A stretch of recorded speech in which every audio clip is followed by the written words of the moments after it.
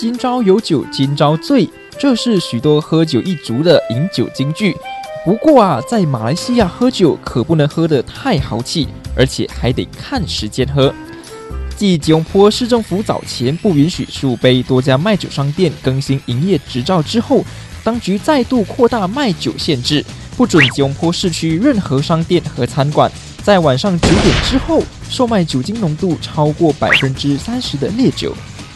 我觉得不会有大影响咯。如果人家要喝，他们早都买了。Well, I don't drink in the first place, so for me, I would say they, they shouldn't be allowed to sell alcohol in the first place. But I mean, if they're allowed to sell it, then they should be allowed to sell it anytime they want. 我觉得不合理啦，因为在马来西亚是一个自由开放的国度嘛。等你可以参考在新加坡的咯，因为新加坡的话，他们自从呃那个外劳，他们有那个骚动过后。他们的政府才设立的那个呃，什么禁令，让他们在晚上呃十二点过后才不可以喝酒，还有特地的地区，因为我们马来西亚是呃宗教信仰自由、言论自由，我相信呃这个是一个跑回去开倒车的一个呃举动。虽然我不喜欢喝酒，I agree with it. I think it's a good thing. Well, I, I think for like driving, um, it's probably a safe thing because then there will be less drunk drivers on the road. But for people's enjoyment and pleasure, it's probably not such a good thing.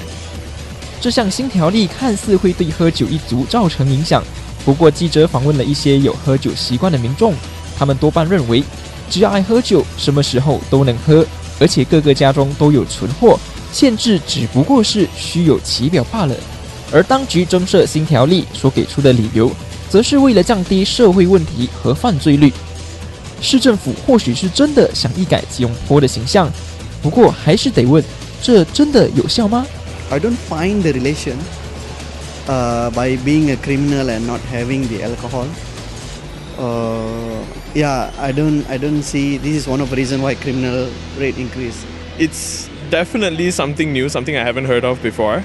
Uh, I don't think it's such a great idea because, like I said, people are going to commit crimes with or without alcohol. It's what motivates them to do it. 这个东西你还是要从那个 文本的那个教育开始咯，因为这是一个文化的东西嘛，所以你不可以说你要把一个东西 apply 下去，马上就你可以看到那个 result 回来了。这也很难说，也不一定。不过我觉得，如果能够从这边有这个措施的话，那为对青少年的那个犯罪率可能会减低，不过对成年人的也未必会。说到底，这个新限制受到最大影响的还是商家。